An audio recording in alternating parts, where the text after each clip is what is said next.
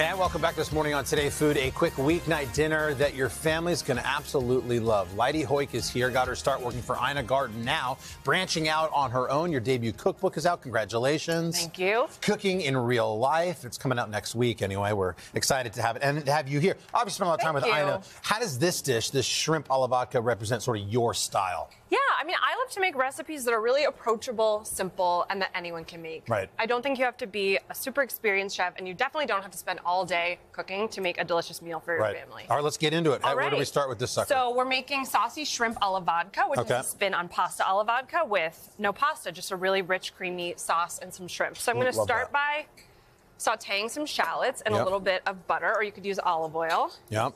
And then, you know, I would normally let these cook until they're nice and translucent and softened, but for the sake of today, we're just going to move along and I'm going to add lots of garlic. This Love is like that. four cloves of garlic. Beautiful. Can never have too much How many recipes are in your cookbook, roughly? Was it a Roughly a hundred. Was it a daunting task to It get was. 100? It was daunting. It Yeah. was. You know, I spent a year and some red pepper. Some red pepper flakes. I spent a year working on it and some ground oregano. Mm-hmm.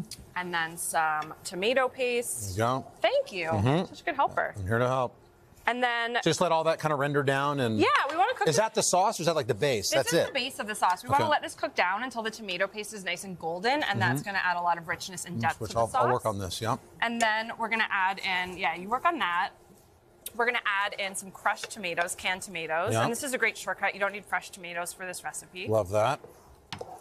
And some vodka, which Now we're talking. the secret ingredient. Now we're talking. Oh, we got Craig Melvin's attention. There you go. It's so You good. should sample that vodka. And, And what does the vodka do? Obviously, the alcohol burns off. What do we get from that vodka that's, that we you know, like? it cuts through the richness of the sauce a little bit. It's almost like using a white wine or a red wine in a all right. recipe. Mhm. That's all right. Let's ignore that.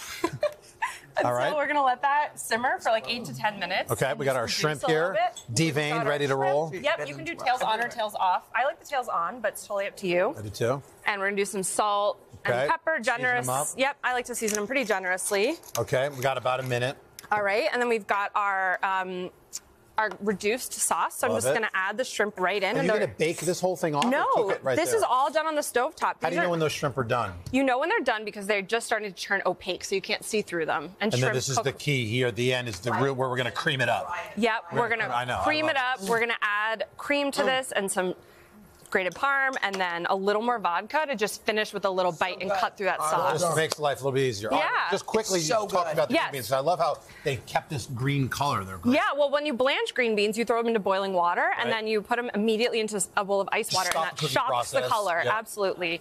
And then I do a just little oil down and garlic and you're done? Yeah, I do a little oil. I'm gonna do the beans, a little garlic. Capers are nice stuff. I think a lot of people Yes. order pasta alla vodka because they like the alla vodka, but they really don't want the carb in the pasta. So the protein That's here, exactly- what a nice Exactly. swap. Yeah, like this is a really comforting dinner without being over, you know, too heavy. This is something want that people are going to make tonight, Lidey. Thank Oh, you. Oh, I hope so. Congrats on the cookbook. Thank you so much. Very, very happy for you. Cooking in Real Life is out next week. Be sure and check it out. Well March 12th. You can get the Glad recipes you like at it. today.com slash food.